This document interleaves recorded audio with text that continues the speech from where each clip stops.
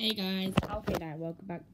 Hello guys, Alpha Knight here, and today, probably you guys been wondering, where's where's Story Time Three? Because I've only got one and two up, and like one month for a year now. Yeah.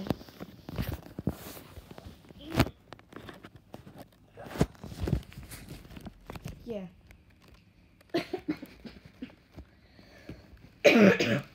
yeah. So this this is a kind of embarrassing story, kind of a weird story for me. So like, how do I start this? Oh yeah, no, actually, it's not really embarrassing. It's something that happened to me like two days ago, or maybe three. I can't remember. But this guy called Zach through um one of like a guy I knew. I'm not gonna say his name. A guy I knew's bag over wall. Me and my other friend went looking for it. We couldn't find it, so we had to tell him. that was impossible to find it.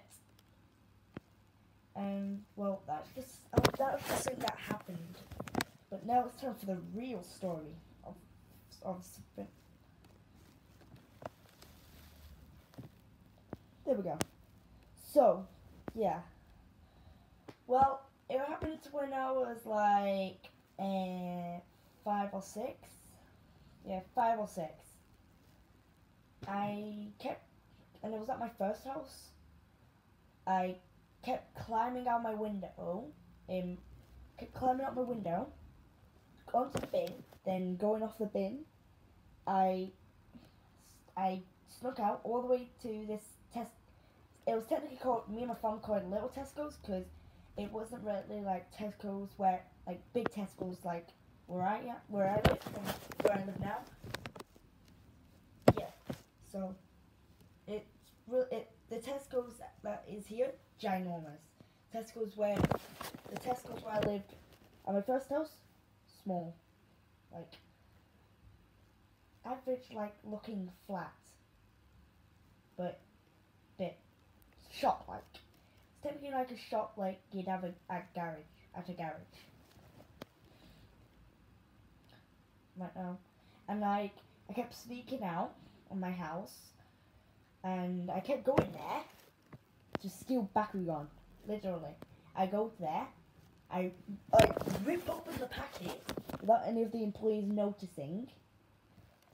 And like I did it like for five five or ten days. But the eleventh day I got caught. Uh, the one of the employees spot, spotted me. I tried legging it out, but because I was only little, I, I couldn't run so fast. So the so they they rung the police on me, and then they rung my mum, and my whole family to come. And well, my mum, the police weren't really bothered because I was only five or six, but they just told me to learn from my mistake.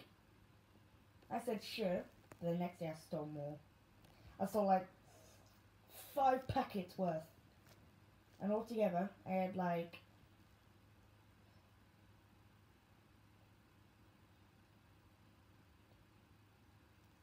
55 Bakugan. Literally. 55 stolen Bakugan.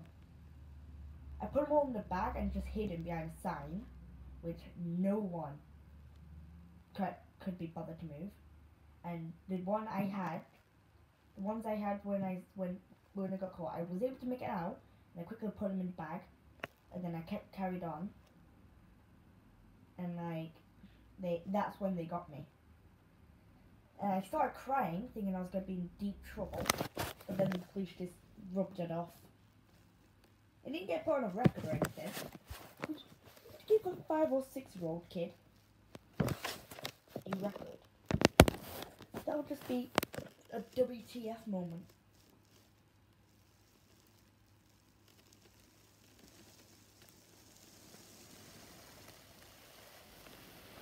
Oh, okay.